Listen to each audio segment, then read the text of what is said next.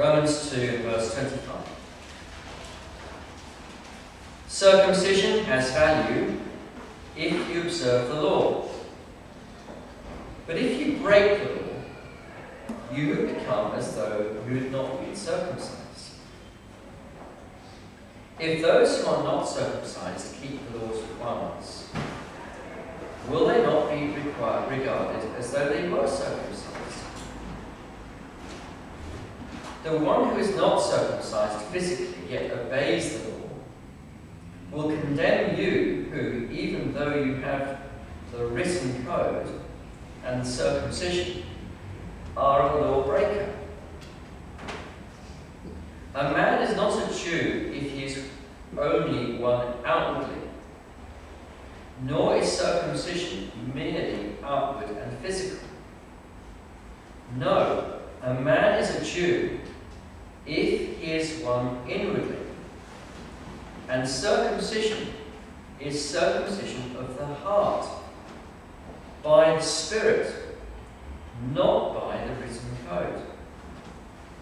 Such a man's praise is not from men, but from God. So please keep your Bible open there and let's now pray and ask God.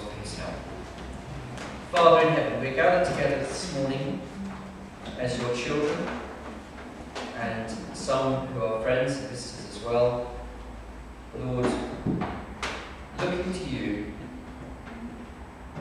like a little bird in a nest opens its mouth and the mother pops the worm in. We pray, Lord, that you, as we open our hearts to you and open our mouths to our spiritual mouths, you will feed us with your bread, the living bread of your word. We need you, Lord. We need you to give us this word, we need you, Lord, to help us to receive it, to digest it, and for it to benefit us. So we pray, move by your Spirit to enable your word to come to us, and move by your Spirit in us to enable us to receive your word. We pray through our Lord and Saviour, Jesus Christ. Amen. Now, in this passage, Paul is addressing a Jewish person. Um, it, it's a continuation of what he started in verse 17. You see, look back at verse 17, it says, Now if you call yourself a Jew, still speaking to this, this, this Jewish person. And he's saying to this Jewish person, don't think just because you've been circumcised, that means you're going to go to heaven. Right with God. just because you've been circumcised does not necessarily mean that you are going to go to heaven at all. If there's not been a work of the Spirit of God in your heart to cause you to be circumcised in your heart, to cause you to be born again, then really you're just like a Gentile. It's as though you've never been circumcised. And so what he's saying to them, to this Jewish person, is you must not rely on this ritual that was done to you when you were a few days old. And think that because this ritual that was done upon you, uh, that because of that, you are one of those people and you're going to go to heaven. Now, uh, this passage, of course, has, any, has, has relevance to anybody who might be here or who might be you might listen to this sermon on the internet or something who is a Jew. Maybe there are one or two, I don't know. Um, probably not many of us. Maybe none of us are, are Jews. But if, if you are a Jew, then obviously directly has relevance to you. Or if you've been circumcised and you're, you're tempted to think that, that the fact you've been circumcised makes you something special, then this, this has direct relevance to you. But even if you are not a Jew, and even if you've never been circumcised, I would suggest to you that this passage is a very, very important passage for you to take note of for a number of reasons. Number one, there are millions of people in, our, in this country who think that because a ritual was performed on them when they're a few days old or a few weeks old, that they're alright. that ritual today happens to be not circumcision, but quotes baptism, infant baptism. They think, well, I was done as a baby, I was christened, so therefore I was, I'm all right. There are many more people who have been told to pray a certain prayer, to re- re- repeat certain words in a prayer, and then go up to the front of the meeting, and they've told, right, now you come to the front of the meeting, you're a Christian now, you're born again now, you're going to go to heaven. And they've been assured that, that, that because of this ritual they've gone through, of saying a few words, that that makes them okay with God. So this passage is actually a very important passage for us all to listen to. Another reason why this is a very important passage is this. Because as Paul is dealing with circumcision, he tells us about what real circumcision is, which is real circumcision is the circumcision of the heart, which is being born again. So this passage actually tells us a lot about what it means to be born again. Verse 25. So again, it's a very important passage for us to, to, to listen to because Jesus said that unless a person is born again, he will not see the kingdom of God. Vitally important we should understand what it means to be born again. Vitally important we should know whether or not we are truly born again. Another reason why this passage is very important is because it helps us to understand the Old Testament. Helps us to interpret the Old Testament. Now, there is a huge debate amongst Christians about how the promises of the Old, of the Old Testament are to be interpreted. There is a certain school of thought which is sometimes called dispensationalism, which says that the promises of the Old Testament are to be interpreted literally. That all the promises that God made to Abraham and his descendants are going to have a literal fulfillment.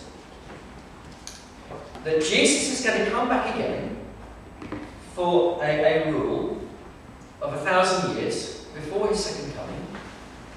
And when he comes again, he will set up a, a, a new kingdom in Jerusalem, and all the Jews will, will, will be his subjects, and he will be the head of a great empire.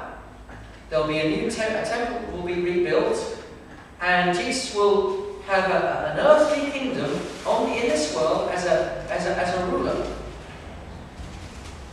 this passage has immense relevance to that because it shows us that actually a real Jew is not somebody who's a physical Jew or has been circumcised. A real Jew is somebody who's been born again. And therefore, all the promises of the Old Testament find their fulfillment in the church. Not in some physical kingdom Jesus can establish, but in the people of God.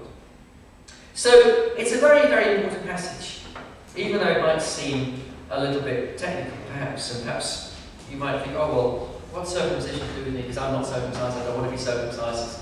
But hopefully, we'll see that actually it is important for us. Now, let me remind you of context. We are in the section of Romans where, which runs from chapter 1, verse 18, all the way through to chapter 3, verse 20, where Paul is saying and he's proving that the whole world needs to the salvation which is in Christ. There isn't anybody who walks the face of this earth who can say, I don't need to be saved. He started off in chapter 1, verse 18, with a general statement about God's wrath being revealed from heaven against everyone in the world. Because everybody in the world does not worship God as he should be worshipped. Everybody knows that God exists, everybody knows that he's great, see it from the creation, but they refuse to give glory and honour to God. And so God is showing his wrath against mankind. He then goes on in chapter 2 to speak about he starts to focus down on the on the, the moral person. And he says the, the moral person needs God's salvation. It's not just the, the, the, the, the person who's lives an, out, an absolutely outrageously wicked life, but the person who thinks of himself as being moral also needs to be God to be saved because he has or she has not lived according to what is right. They know about what is right and wrong, but this person does not live according to knowledge that he has. And then, in the second, in, from verse 12 in chapter 2, he, Paul deals with the question well, what about the person who doesn't know anything about God's law? How can that person be judged and condemned if he doesn't know anything about right and wrong? And the answer is he can be judged and condemned because he knows about right and wrong within his heart. Everybody in this world knows about right and wrong from within. Everybody's got a conscience. But now, then, in verse in verse 17 of chapter two, of chapter two, Paul then starts to address the Jew. And the Jew, of all people, would say, "Well, I don't want to be saved." And there are two big things that the Jew points to. Jew says, "Look, I know the law of God." I'm not like these Gentiles who living in ignorance. I know what's right and wrong. I'm morally superior because I know what's right and wrong. And secondly, I've got the mark of God upon me. I've been circumcised. These, these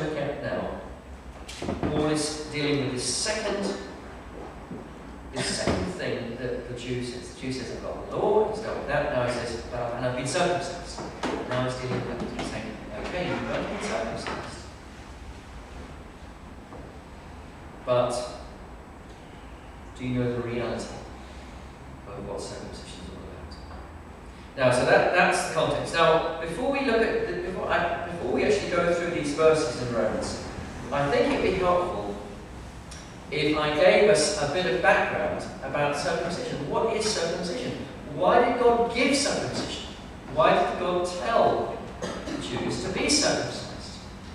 And for that, we need to go back in our Bibles to Genesis chapter 17. Perhaps you'd like to turn with me there to Genesis 17.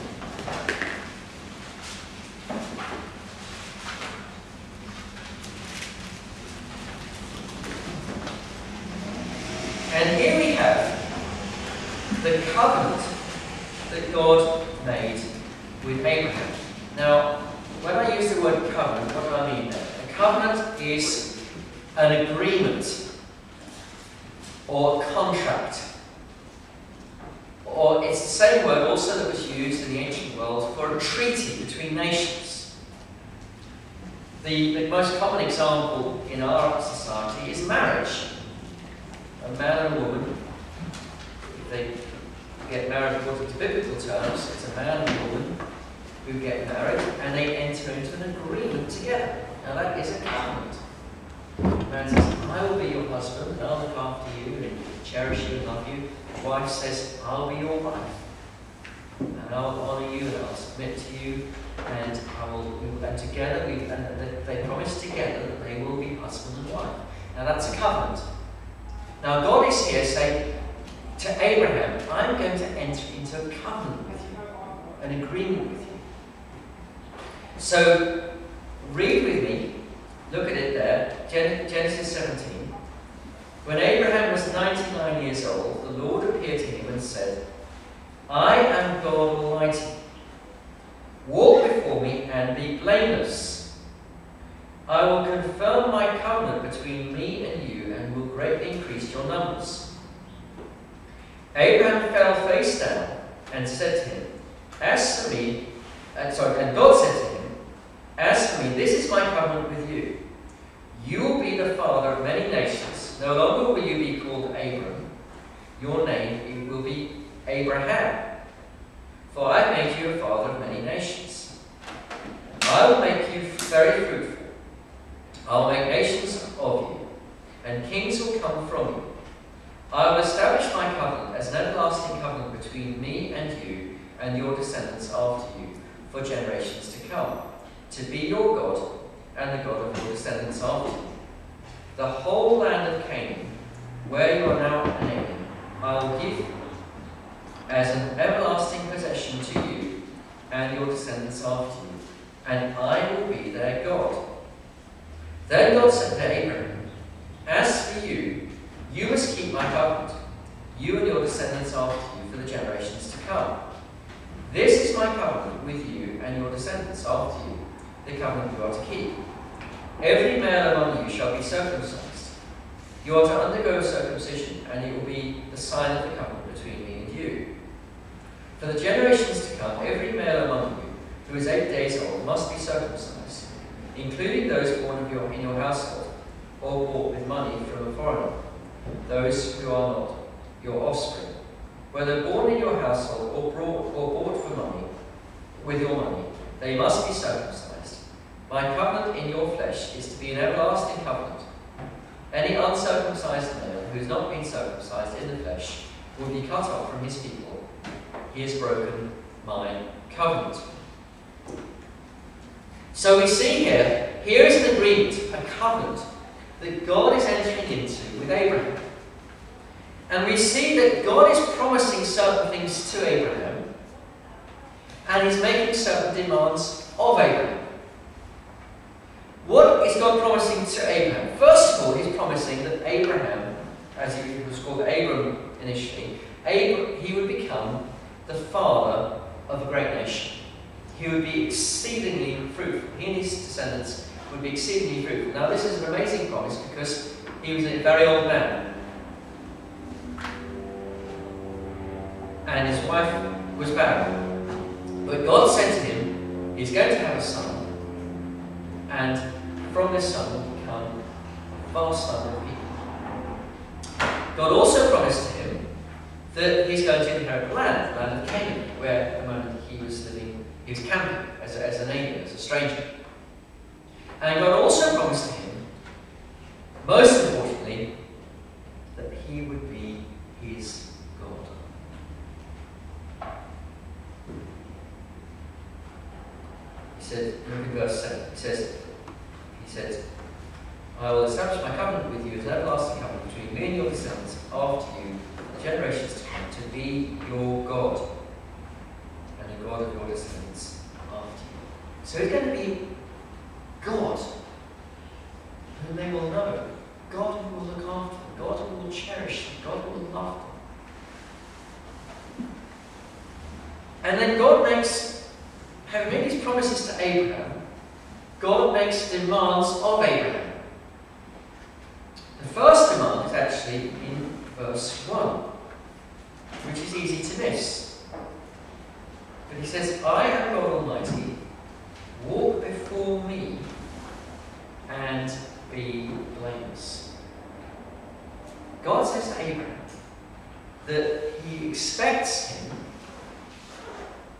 to live in a right way, expects him to, to uh, be blameless in his behavior.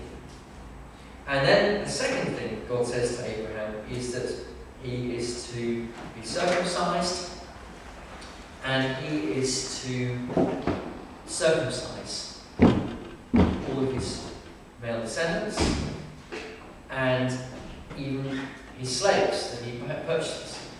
He was a slave at the time, and uh, any slave that Abraham purchases is to circumcise as well. Now, what is the point of that circumcision? Well, I'd suggest to you that the point of that circumcision is that it was a physical mark to show that Abraham and his descendants belonged to God.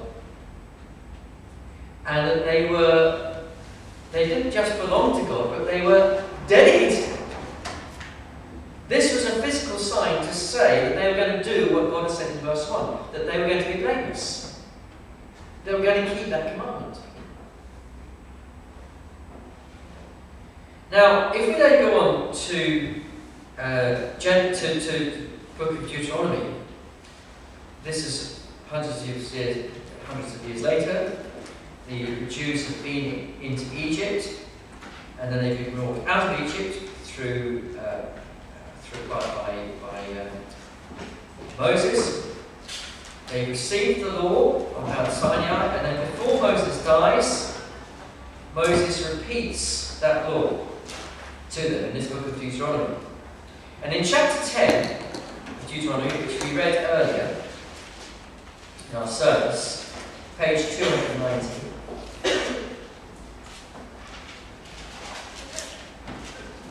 I won't read the whole passage because we did read it earlier in our service. But verse 16, Moses says to them, Circumcise your hearts, therefore, and do not be stiff-necked any longer. God is looking for a circumcision of the heart. Not just a circumcision of the body, a circumcision of the heart. A very common misconception that many people have got about the Old Testament law is that the Old Testament law is just about outward morality. It's not about heart obedience. That is a terrible misconception. What this passage proves, and many other passages that prove it, is that actually what God called for under the Old Covenant was heart obedience, heart love. Another passage, of course, famously quoted by the Lord Jesus Christ as a summary of the law, from Deuteronomy chapter 6. You shall love the Lord your God with all your heart, with all your soul, with all your mind, and with all your strength. That's what God wants from us. He, he wanted from his people. He wanted that heart obedience, that circumcision of the heart. Not just mere outward obedience to certain rules and laws. And that's the point of the circumcision. The circumcision of the body was to be matched with the circumcision of the heart. Now, if we understand that background, it helps us then to understand what Paul is saying here in Romans. So let's go now back to Romans chapter 2. Back to where we were. If you've lost the page, it's page 1749. So Paul, and what I'm going to do now is I'm basically going to take us through these verses. Because it is basically an argument that builds up from verse to verse. So Paul says in verse 25, Circumcision has value if you observe the law. But if you break the law, you become as though you had not been circumcised. Now, when we understand context, we understand the background properly of why circumcision was given and, what, and the call God made for the Israelites to circumcise their hearts, it helps us to understand why how what Paul says there in verse 25 is obviously true.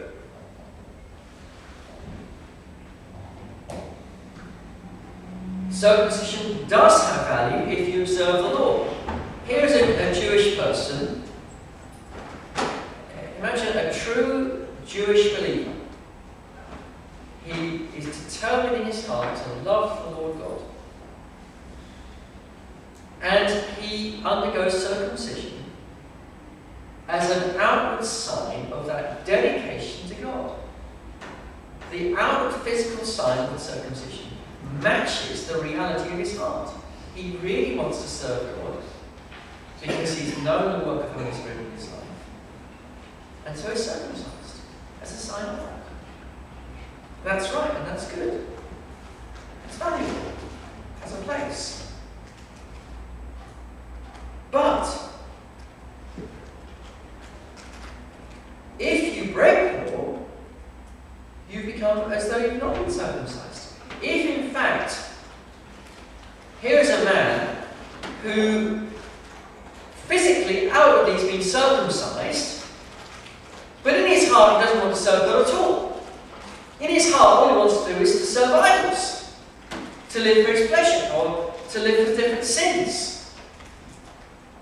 He might outwardly conform to certain Old Testament laws because otherwise he'll get into trouble with his fellow Jews. But he doesn't really want to obey those laws. In his heart, what he really wants to do is to do what all the pagans do. And wherever he can get away with it, that's what he does do. Well, Paul says somebody who, who, who breaks the law, who doesn't in his heart live according to the, the law of God, well, it's as though he's not been circumcised. His circumcision is just an outward show. It doesn't mean anything. Now, we can make an application of that to things far wider than, than circumcision. The most obvious thing it would apply to is also baptism.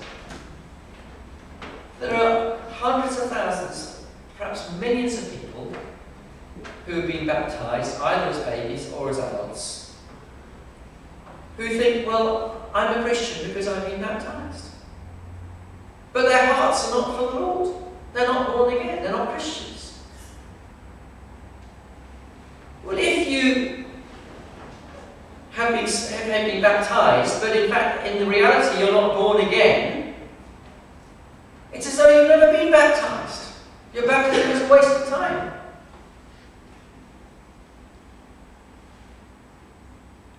Baptism has value if it is an, if it is an outward expression of what is the reality in your heart. That in, the reality in your heart is that you are, you've been washed from your sins. You have been truly born again. Okay, so Paul says to in verse 25 that the person who who that circumcision does have value if a person observes the law, but if he does not observe the law, if he's a law breaker, then he might as well not have been baptized, but certainly not, not have been circumcised. Now then, he continues in verse 26. If those who are not circumcised keep the law's requirements, will they not be regarded as though they were circumcised? Now, when he's talking here about a certain group of people keeping the law's requirements, question that some have asked is, is he talking theoretically Because surely, doesn't he say just a little while later, all have sinned, all have fallen short of the glory of God, there is no one righteous, not even one. How can he say that anybody keeps the Lord's requirements? Is it just theoretical? The answer is I don't think it is just theoretical. I think what Paul is talking about here is those who have been born again. The person who is born again does essentially keep the law of God. He's not sinlessly perfect, but something has happened in his life whereby now he loves God, he loves righteousness, he wants to please God. Now we've seen this already. This is the interpretation I gave uh, back in chapter 2, uh, back earlier on in chapter 2, verse 7. Remember, when we look at verse 7, I suggested that this is a description of those who are born again, those who by persistence in doing good seek glory and honour and immortality. Who are those? Who by persistence in doing good seek glory and honour and immortality. They are those who are born again. That's the mark of being born again. And again, uh, uh, um, verse 10 there'll be glory, honour, and peace for everyone who do, does good. Who are those ones who do good? It is those who've been born again. And uh, also, if we look forward to chapter 8 and verse 4, Paul says, just reading from the end of verse 3, God condemns sin in sinful men in order that the righteous requirements of the law might be, our translation says, fully met. Actually, the better translation would be, might be fulfilled in us who do not live according to the sinful nature, but according to the Spirit. The requirements of the law, and that's the same word that's used here uh, that we had in, in, the verse that we're thinking about here, in uh, chapter 2 and verse 26, uh, the law's requirements. Those who are born again keep the law's requirements. Not perfect. I am speaking to you as someone who yesterday failed as I was on my way home from from holiday and got exasperated and etc. And I failed and I've had to apologise to my family. I, I, I'm not 100% perfect. I'm not. And I'm sure all of us would say the same thing. But the thing is this that there is a, a work that God has done in all those who are true believers, whereby there is that desire for God. Deep down inside, there is that desire for God, there is that desire for righteousness. And when we do sin, we feel so awful about it. Because of that work of the Spirit in us. And that's what Paul goes on to describe in Romans 8, verses 5 through to 8 about how those who live according to the flesh, they're only thinking about what the flesh wants. But those who live according to the Spirit have their mind set on what the Spirit wants. The sinful mind, he says, is hostile to God, it does not submit to God's law, nor can it do so. Whereas, by contrast, those who have the Spirit of God do submit to God's law. They love God. So coming back to chapter 2 and verse, uh, verse 26, I suggest to you that the interpretation of this is where he says, if those who are not circumcised keep the law's of requirements, he's talking about those who are Gentiles who've been born again. They've not been circumcised,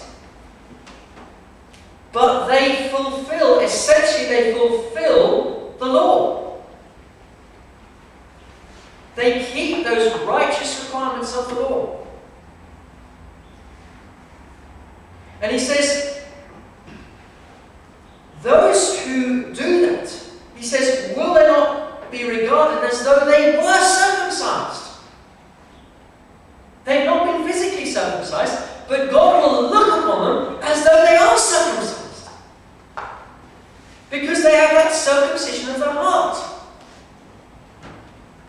Their nature has been changed through the work of the Spirit in them.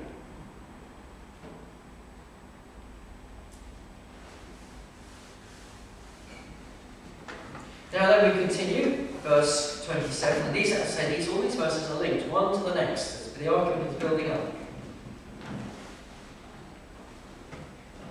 The one who is not circumcised physically and yet obeys the law will condemn you, who, even though you have the written code and the circumcision, are a lawbreaker.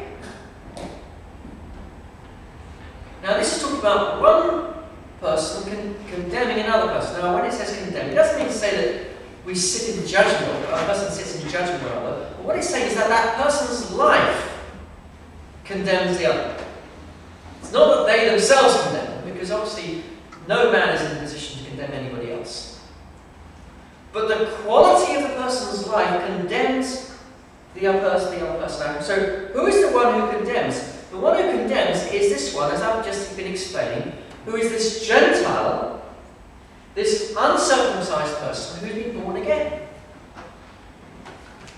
The quality of his life and the obedience of God, to, to God's law, the heart obedience God's law, shows up the disobedience to God's law that there is in the, in the Jew who has been circumcised but is not born again.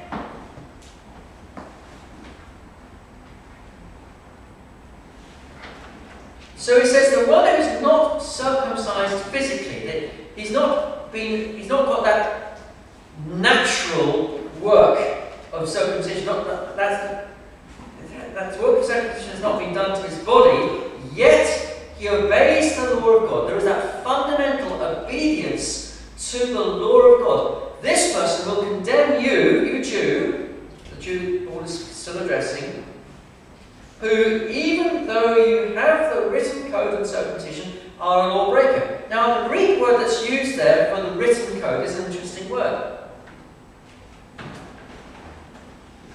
Because it talks about a sort of an outward conformity. And it's used uh, in uh, 2 Corinthians chapter 3 and verse 6.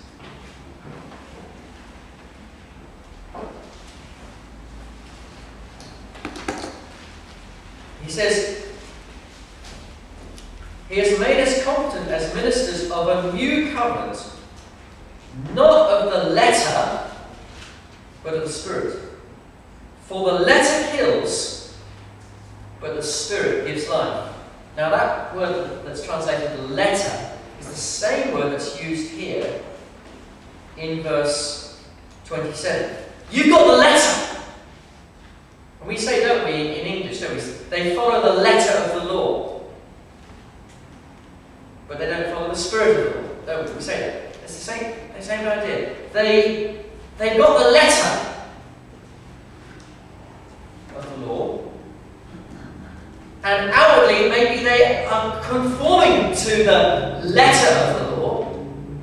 And sometimes go to extraordinary lengths to conform to the letter of the law but they're not actually conforming with the heart to the law. And so, in fact, here is this Jew, he's been, he's been circumcised, he's got the letter of the law, but Paul says he's a lawbreaker. Interestingly, the actual Greek says, the literal translation is through the letter and circumcision, you're a lawbreaker. It's as they actually outwardly conform to this letter of the law, they're actually breaking the law in a weird sort of way, paradoxically.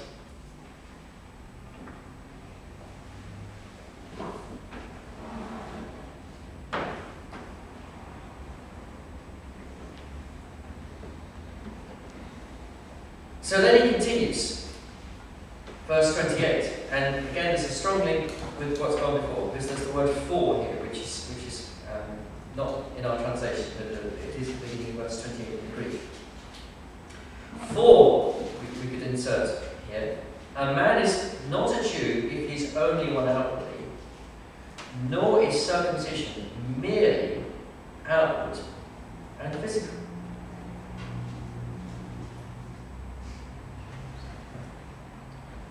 Now this is dynamite.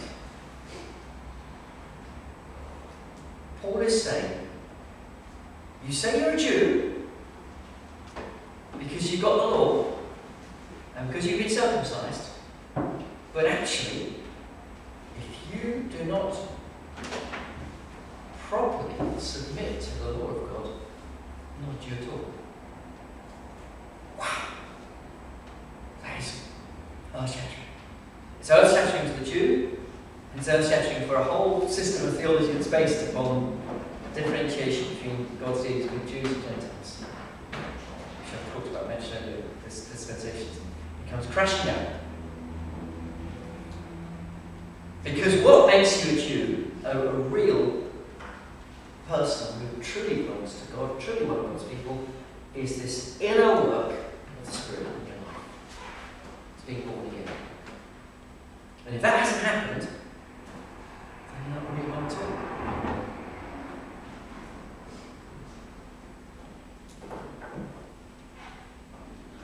So real circumcision is not merely outward and physical. And then he continues, Bill, he says, he restates it and says it more strongly in the next verse. No, a man is a Jew if he is one inwardly. And circumcision is the circumcision of the heart by the Spirit, not by the written code. So, what makes you a real Jew, what makes you truly one of God's people, is if this work of God has been done in your heart. Whereby inwardly you submit to the law of God. So here's the tragedy. You know, you can go drive through Tottenham or somewhere like that and you see Orthodox Jews with all of their regalia and everything else, very strongly of the view that they are the people of God. Sad thing is that in reality, they're not, in, the sen- in, sense, because they've not submitted to God's law. Now, does that mean say God's got no plan for those who are racially Jews? No, God does have a plan for them, and we're going to come to that in chapter 11, God willing, if we get that far. But this is a very important point that is being established here. That what makes you a true Jew is this inner work of the Spirit in your life.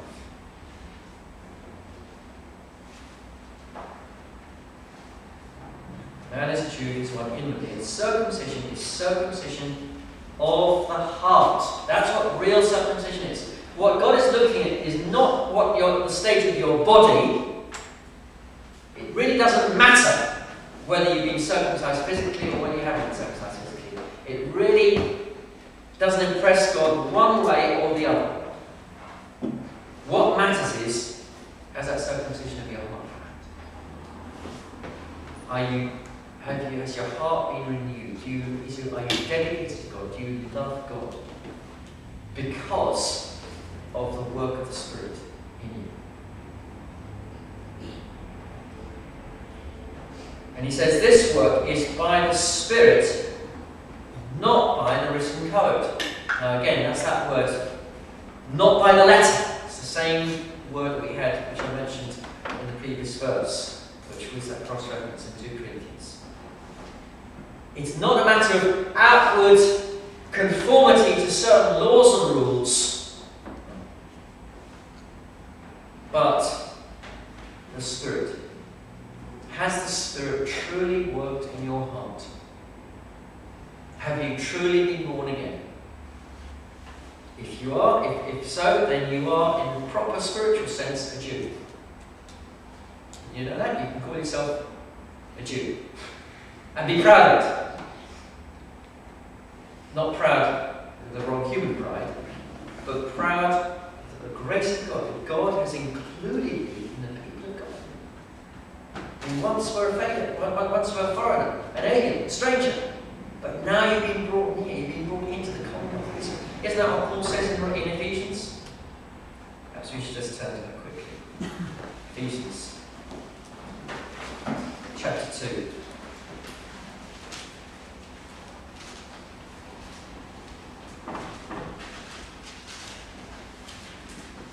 Verse 11.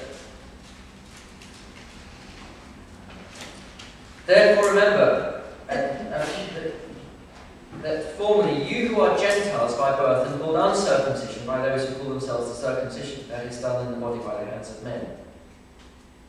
Remember that at that time you were separated from Christ, excluded from citizenship in Israel, and foreigners of the covenants of the promise, without hope of our God in the world.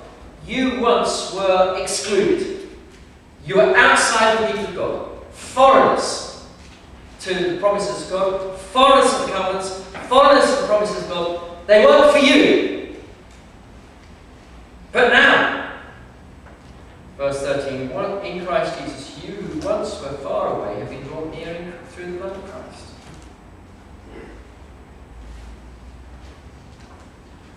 He continues, For he himself is our peace, who has brought made the two one and has destroyed the barrier, the dividing wall of hostility, by abolishing in his flesh the law with its commandments and regulations. His purpose was to create in himself one new man out of the two, thus making peace. And this one body to reconcile both of them to God through the cross, by which he put to death their hostility. He came and peace, preached peace to you who are far away, and peace to those who are near. For through him we both have access to the Father by the one Spirit. Consequently, you are no longer foreigners and aliens, but fellow citizens with God's people and members of God's household, built on the foundation of the apostles and prophets, with Christ Jesus himself as the chief cornerstone. You see what he's saying? Once there was this group who called themselves the Jews, the people of God. And there were these people who were the Gentiles who were regarded by these people as the dogs. Away. But what God has done is He's brought those Jews who believe in Christ to Himself, and those Gentiles who believe in Christ to Himself, and made a new people. The people of God, believers, Christians, who are the heirs of all the promises of God to Abraham. We read earlier promise of Canaan, all these things, they're all for us, the people of God. The promise of the restoration of Israel, it's all for us.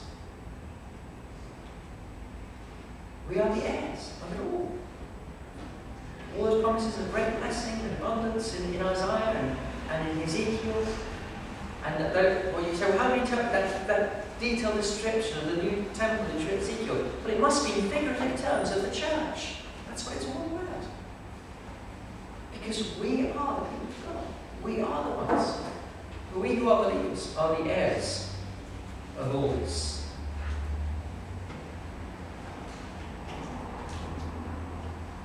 And circumcision, real circumcision, as we see, is this spiritual act of God in the person's life. Just one more cross reference, and then I'll bring it to conclusion and uh, that cross reference is in Philippians, in chapter 3,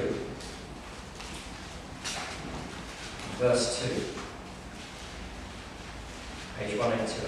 He Paul says this Watch out for those dogs, those men who do evil, those mutilators of the flesh. For it is we who are the circumcision. We! We're the circumcision, he says. We're the Jews. Because when you use the circumcision, that's the Jewish people. That's what he used the term uses. We are the circumcision.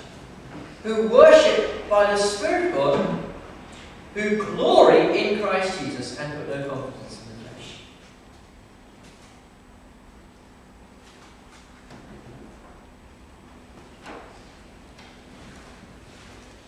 Okay, well, as we draw things to a close then, I, basically I need to just ask you a basic fundamental question, which is this. Are you born again? If you are born again, then you've been circumcised in the heart, you are one of the people of the Lord, you are the heir of the promise you're not born again, whether you've been circumcised or baptized, or whether you've had the last rites done over you, or whether you go to Mass every Sunday, or you go to the mosque or temple, or whatever it is, it's all of no use. You're on your way to hell. It's as simple as that. Are you born again? Are you a true Christian? Everybody here in this room, and everybody who listens to this recording this message of that. Everybody needs to ask that simple question. It doesn't matter whether you're a Jew who knows every law in the Bible, in the Old Testament, intricately, or whether you're a, a pagan who's been worshipping the sun previously. Doesn't make any difference at all. question is, are you born again?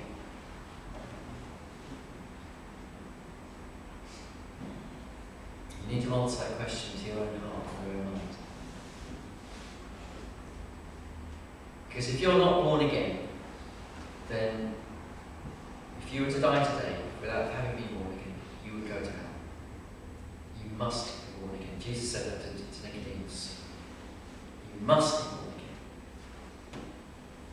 again. So let me just uh, draw my application down to first of all address those who are not born again, or who think they may not be born again, and then those who feel reasonably confident that they are born again.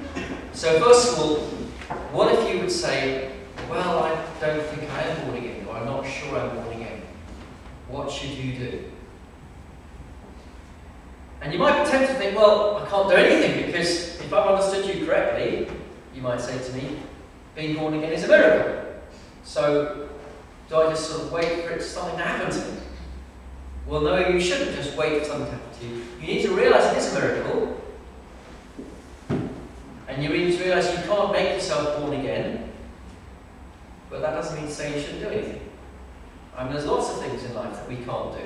Does that mean to say you don't pray about those things? Does it mean to say you don't, you don't seek to do what you can do? No, of course. So what should you do if you're not sure if you're born again? Or if you think you aren't born again? Well, first thing you can do is pray, isn't it? You can ask Him, and you should ask Him, to make you born again.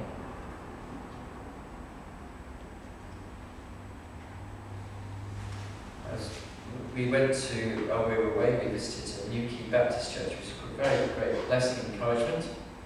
And uh, it was good to see how the church is progressing there. And uh, we met there um, some people from Birmingham who were also on holiday at the same time as us, and it was lovely to hear the story about how first one got converted, and then I think it was her sister got converted, and the sister's husband got converted, and then the brother got converted, and this got converted. And they went, they started, they went, they started a church with six of them, and now they've got over 100 people in their church, and the Lord has been working. Now, she said what she did was, she was the first one, I'm not next one said, Well, I was an atheist, she said. But she started to go to church and she got to the point where she, she, she'd heard enough to realise that, that what the Bible says is that if she was to die unsaved, she'd go to hell. So she prayed to God. She said, I prayed to God. She said, God, if you're there, please will you save me? And immediately she knew she was saved And, and she, was, she knew she was forgiven, and her life was transformed. Now, sometimes it happens like that, sometimes it, it, you search searching for weeks, months, years. But seek, and you shall find. Knock, and the door shall be opened to you. Uh, so, pray, and also, if you're not born again, confess your sin to God and ask Him to save you. What then for those of us who are born again. What should the effect of this passage be on us? Well, surely we should be so amazed and thankful to God that God has included us among His that He has caused us to be circumcised in the heart. And we should realise that this is all of God's grace. If you have been born again and you haven't yet been baptized, you should be baptized. Not relying on that to make you right with God, but as a sign of God's grace to you and a testimony.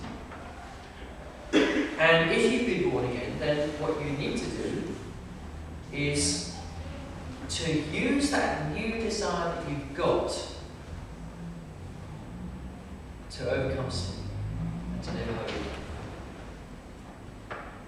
Don't just say, oh, I'm born again now, I'm going to go to heaven, and don't bother with being holy. When you become aware of sin, repent quickly, and come to God and ask God for forgiveness, and, and go on. Now, so I'd like to just, just, have a few moments of quiet before we